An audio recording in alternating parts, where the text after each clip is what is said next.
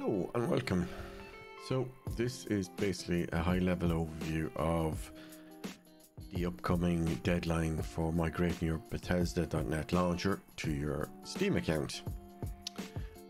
Um, they did post this quite recently back in, looks like they've updated on April 27th.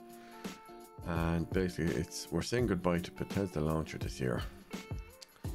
If you're not playing PC games through the launcher then your work is done here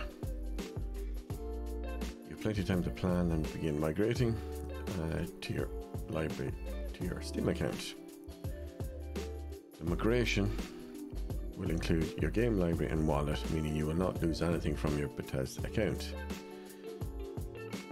Many games will also have their saves migrated, with a few requiring some manual transfers, so it kind of depends obviously on the game.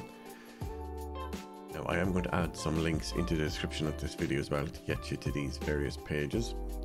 Um, so it says, how will I play games? I encourage you to encourage you our launcher community to continue their experience on Steam.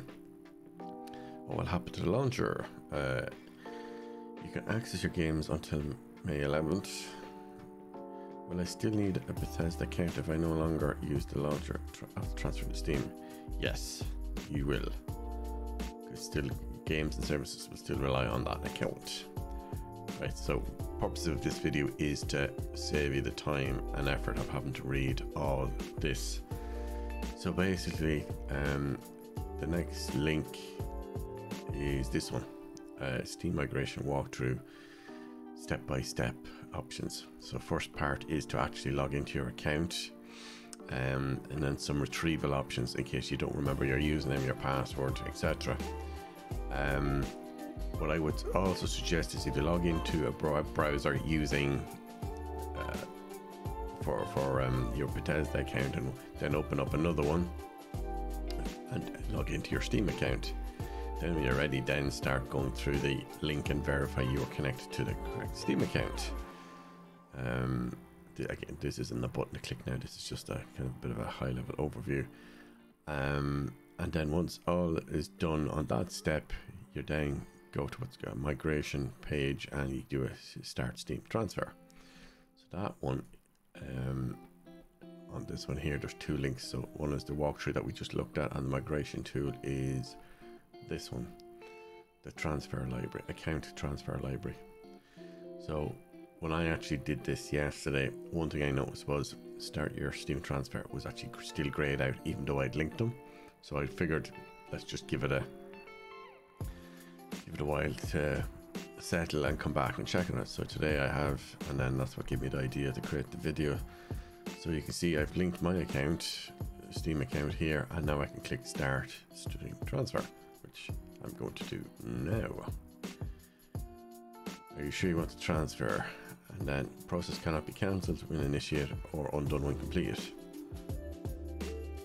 After the transfer from your account to your Steam account is complete, you will no longer be able to access your games on the PC Bethesda PC launcher. Yes, transfer to this account.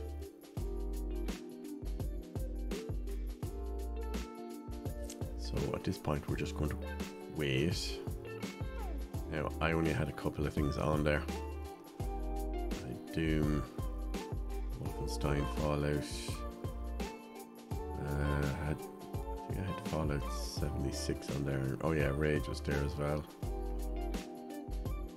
Transfer your Doom Eternal save game save. Please click here.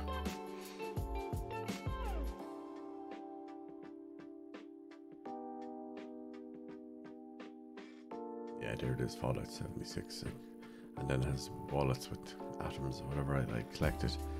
Now it looks like there's another option here. Open this in a new tab. This is to do with the, the last Doom. Steam authorization required to sync your saved game. Okay, so let's. Now I don't have Doom currently installed, so step three is not really going to work for me. We're leaving Bethesda.net. Yes, so send to Steam website to allow access to upload save files. So in your case, if you do have it installed, this is what you would do. because I don't have it installed. I don't even have the launcher installed at the moment. I'm not going to bother with this. I recently did a Windows 11 reset. But anyways, um, that's basically how you do it. So if we go over to our Steam and then library, can we get to our library from here? No, but we can probably do it this way.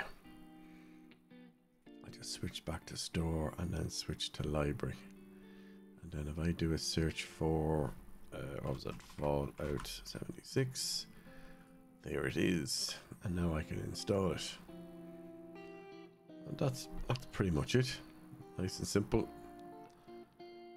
Um, as I said, I will add links to the description and some uh,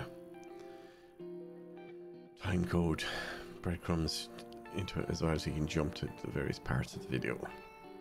Alright, thanks for watching and bye for now.